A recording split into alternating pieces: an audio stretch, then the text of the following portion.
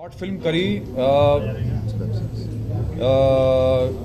जो अपनी ये जो डांस बार है। हाँ इट्स वेब सीरीज़ है। अरे वाह क्या बात है। चलिए ये मेरे लिए एक रेवोल्यूशन है कि हमने जो एक फ़िल्म के तौर पे शूट किया था आज उसको हम वेब सीरीज़ की तौर पे पेश कर रहे हैं। The reason why I did this was पहली बात तो ये कि दीपक पांडे जो डायरेक्टर हैं इस इस वेब सीरीज़ के वो मेरे पुराने मित्र हैं मैं उनके साथ पहले भी काम कर चुका हूँ वो डीओपी रह चुके हैं। और उन्होंने मुझे अप्रोच किया और उन्होंने बताया मुझे बताया कि एक ऐसी कहानी है जो मैं आपके साथ करना चाहता हूँ और मैं सिर्फ़ आप ही को इस कहानी में देख रहा हूँ तो अ, क्या आप ये करना चाहेंगे? और अ, मैंने उनको बोला कि देखिए मेरा पहला रीज़न आपके साथ काम करने के लिए यह है कि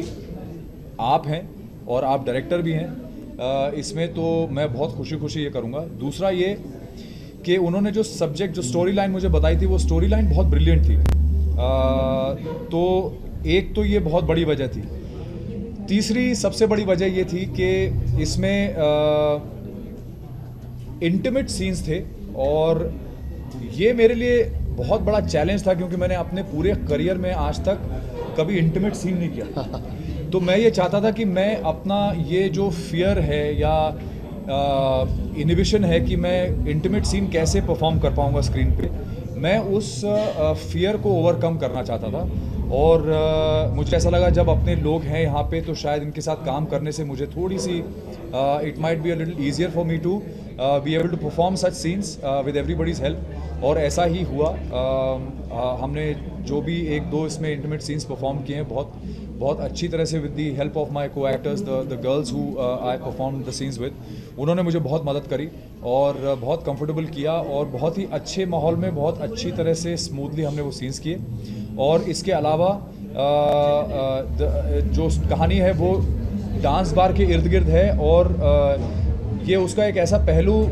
आपको दिखाएगी ये कहानी जो आज तक शायद बहुत कम लोगों को पता होगी अनलेस जो डांस बार में बहुत में एक्सपीरियंस्ड हों। शायद उनके अलावा ये बाकी जो बाहरी दुनिया उनको नहीं पता होगा। ये पहलू डांस बार्स का, या वहाँ पे जो काम करने वाली लड़कियाँ होती हैं, नाचने वाली लड़कियाँ जो होती हैं, उनकी ज़िंदगी का एक बहुत बड़ा पहलू है जो इस कहानी को करने के बाद मुझे पता चला और समझ में आया। और मैं ये भी कहना चाहूँगा कि विभू जी ने जो प्लेटफॉर्म शुरू किया है, उल्लू उन्होंने अभी आपको ये एक्सप्लेन तो किया ही है कि उल्लू का महत्व क्या है उसका नाम क्यों उल्लू रखा गया कितना सोचने के बाद ये नाम रखा गया। हम लोग जनरली उल्लू बहुत ही कैजुअली बोल जाते हैं बट ये जो पक्षी है उसकी क्या अ, क्या महत्वता है अ, क्या महत्व है हमारे अ, हमारे धर्म से जुड़ी हुई हमारे कल्चर से जुड़ी हुई वो इन्होंने आपको आज एक्सप्लेन किया और मुझे ऐसा लगता है कि बहुत ही अच्छी तरह से उन्होंने जस्टिफाई किया है इसका नाम उल्लू रखना। और दूसरा ये कि विभू जी ने एक प्लेटफॉर्म शुरू करके बहुत बड़ा काम किया है, क्योंकि आज की डेट में हमारे यहाँ जितना टैलेंट है हमारी कंट्री में, हमारे शहर में बॉम्बे में और बॉम्बे के बाहर से भी जितने लोग आते हैं, बहुत सारे एक्टर्स आते हैं, हज़ारों की तादाद में, कितने सारे राइटर्स होते हैं, कितने डायरेक्टर्स होते हैं, सबको एक प्लेटफॉर्म मिलता है तो उससे बहुत सारा टैलेंट आप उसको यूटिलाइज भी करते हैं और वो टैलेंट आप पूरी दुनिया के आगे पेश भी करते हैं बिकॉज़ हमारी कंट्री 1.3 बिलियन की कंट्री है और मेरे ख्याल से हमारे पास हर तरह से हर तरह का रिसोर्स भी है सोर्स भी है हर तरह का टैलेंट है हमारी हमारी संस्कृति कला से बहुत प्रेरित रही है और बहुत कला है हमारे देश में और उस कला को अगर हम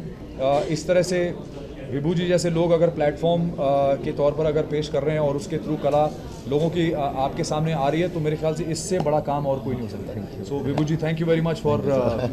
creating a platform such as Ullu thank you sir आपसे जानना चाहूँगा पहली वेब सीरीज़ और पहली वेब सीरीज़ में सुधांशु जी कैसा एक्सपीरियंस था और क्या फ़र्स्ट चॉइस सुधांशु जी थे इस वेब सीरीज़ के हाँ बिल्कुल। मेरे पास दीपक सर का कॉल आया और मुझसे उन्होंने ये बताया कि ऐसा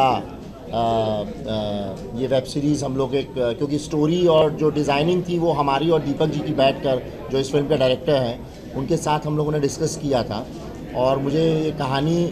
कुछ रिसर्च हम लोगों ने साथ में बैठ के करी थी। और ये बड़ा अलग टाइप की हमें स्टोरी लगी, क्योंकि इसमें हम लोगों ने एक जो मिलियंस और बिलियंस का जो बिज़नेस होता है इस फ़िल्म के अंदर, वो आपको दिखाई देगा, क्या है इसके अंदर। और जो जो डांस बार गर्ल्स करती हैं बेसिकली इट्स अ बिज़नेस तो अब उससे रिलेटेड जब स्टोरी उन्होंने मुझे सुनाई और मुझे डिस्कस किया कि हम लोग सुधांशु जी को ले रहे हैं इसमें तो मैंने एक बार में ओके कर दिया कि हाँ बिल्कुल परफेक्ट चॉइस है आपकी और इनको लेना चाहिए इस फ़िल्म के लिए और बिल्कुल परफेक्ट है ओके सर वेब सीरीज़ बहुत ही जल्दी रिलीज़ होने वाली है। कुछ मैसेज होगा हमारी ऑडियंस के लिए। मैं अपनी और। जी जी मैं ऑडियंस को यही कहूँगा कि देखिए वैसे तो हर आदमी नेटफ्लिक्स की बात करता है अमेज़ोन की बात करता है बट यहाँ पे एक हमारी खुद की अपनी इंडिजिनस इंडियन एक प्लेटफॉर्म लॉन्च हो रहा है। तो मैं आप लोगों से सबसे ये रिक्वेस्ट करूँगा कि प्लीज़ इस प्लेटफॉर्म को ज़रूर सब्सक्राइब करें। और ज़रूर इस पर जो कंटेंट विभू जी ने और इन्होंने, इनकी पूरी टीम ने मिलकर क्रिएट किया है। बहुत बड़ी तादाद में क्रिएट किया है। बहुत अच्छा कंटेंट क्रिएट किया है। तो आपसे यही रिक्वेस्ट है कि आप लोग प्लीज़ उल्लू सब्सक्राइब कीजिएगा और ये आप ऐप डाउनलोड करके छत्तीस रुपये साल का भर के ज़रूर जो है इस पर जो आपके लिए वेब कंटेंट लेके आ रहे हैं, उसको ज़रूर देखिए। प्लीज़ ये मेरी रिक्वेस्ट है। आई एम श्योर कि you will not be let down you will really love it अगर आप लोग नेटफ्लिक्स और अमेजोन दे सकते हैं तो आई एम श्योर कि हमारे खुद की जो देसी प्लेटफॉर्म है उसको आप लोग ज़रूर देखेंगे और उसको अप्रिशिएट करेंगे। Thank you very much thank you thank you thank you Joshi dance bar में मेरा किरदार है गौरी का। मैं इनकी बड़ी बहन का रोल प्ले कर रही हूँ इसमें। Basically a very small brief मेरे बारे में ये है कि मैं इस, जो कोई, जो मेरा प्रोफेशन है प्रोस्टिट्यूशन का, मैं उसमें किस रीज़न की वजह से घुसती हूँ it's because I want to send her out for her studies and उसके बाद जो कुछ होता है like you know I get into या I I get into a brawl with someone and बाकी का तो आप डांस बार में देख देख पाओगे बिकॉज़ इफ़ आई से समथिंग मोर पूरी स्टोरी रिवील हो जाएगी. So that's a short brief about me मेरा कैरेक्टर मेरा कैरेक्टर मैं रिवील नहीं कर सकती हूँ क्योंकि इसमें बहुत सस्पेंस है। मेरा नाम पूनम राजपूत है एंड कैरेक्टर नेम्स भी नहीं बता सकती क्योंकि इसमें मेरे दो दो नाम हैं। तो इसमें बहुत मसाला है, बहुत कुछ देखने के लिए मिलेगा। फ़िलहाल के लिए मैं सिर्फ़ इतना इतना ही बोल सकती हूँ। My name is Tanisha Malhotra और मैं इस फ़िल्म में रूबी का कैरेक्टर कर रही हूँ, जो कि एक बार डांसर है। और बस इतना बोलना चाहूँगी कि वो बिल्कुल ऐसे बोलते हैं ना कि बहुत सालों से बचपन से वो एक डांसर ही है और यही पली बड़ी है महाराष्ट्र के एक छोटे से गाँव में और यही कहानी है कहानी और कुछ मैं रिवील नहीं कर सकती हूँ। आपको फ़िल्म देखनी पड़ेगी. आई होप आप लोगों को ये पसंद आए। Thank you so much thank you thank you thank you so much ठीक है यश, सबसे पहले तो जो आपकी वेब सीरीज़ आने वाली है, उसके बारे में हमारे ऑडियंस को बताइए और आपके किरदार के बारे में वैसे उल्लू के लिए मैंने दो फ़िल्में की हैं। एक का नाम है स्वीट लाई विद डेबोलिना और दूसरी फ़िल्म का नाम है एनिवर्सरी सरप्राइज़ एंड इस फ़िल्म के बारे में मैं ये बताऊँगा कि it's a thriller anniversary surprise is a thriller it's an it's a crazy film I to play a grey shade and ये बहुत अच्छा ऐप है जो विभू जी ने लॉन्च किया है और इसको बहुत अच्छी तरह से प्रमोट कर रहे हैं and I am very excited and happy and I am getting really great response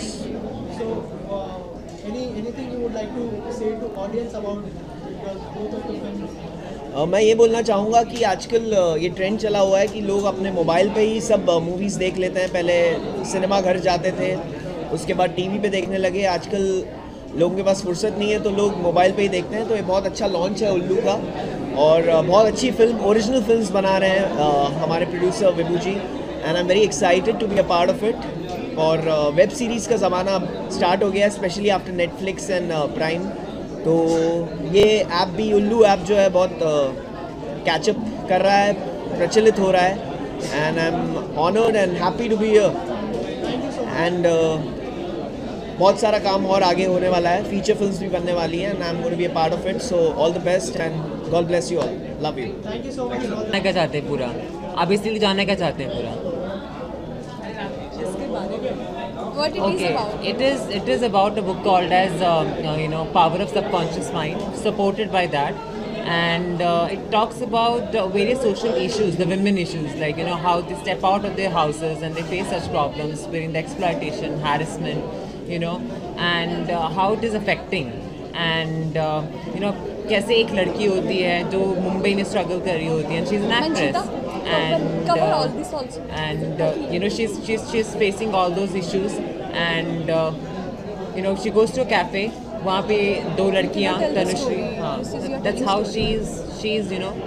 she gets influenced and she gets in consciousness. And for that rest of that you need to watch the film. Basically हमारा मुद्दा ये है कि अ,